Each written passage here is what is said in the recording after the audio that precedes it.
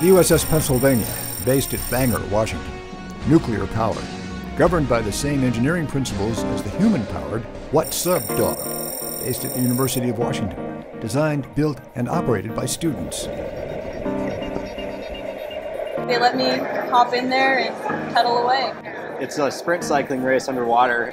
Dominic and Carol are the co-pilots of What Sub Dawg, the University of Washington human-powered submarine team's latest entry in international competition. The sub is pedal-powered, the newest evolution by the UW team, which was born at the Applied Physics Lab back in the late 80s. The very first human-powered submarine was built at the APL, uh, and the team was comprised of, of APL engineers and scientists.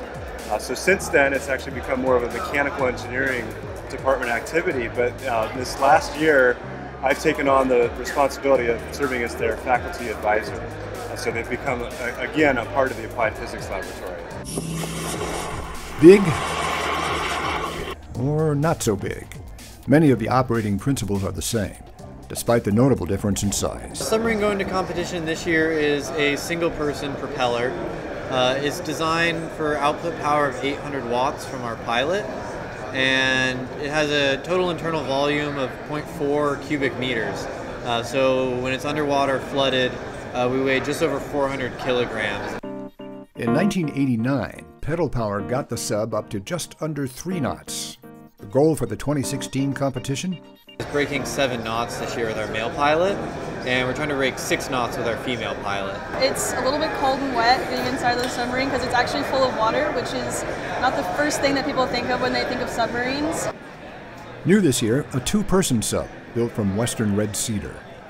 The two-person submarine, though, is uh, it's a whole different animal. As you can see, it's way larger. It's absolutely beautiful. The cool thing about that is that we get to work with the Northwest School for Wooden Boat Building and, and, kind of tap into this Northwest tradition for wooden boats and the craftsmanship that they bring to their work. These students have designed, built, and now they're racing their submarines the tank. They're pedaling these things in the prone position, so lying flat, uh, they're pedaling this around while on an aqualung. They're all university teams from around the world. The UW team is feeling pretty good about its chances at this year's competitions, thanks in large measure to the renewed collaboration between the UW mechanical engineering students on the sub team and APL.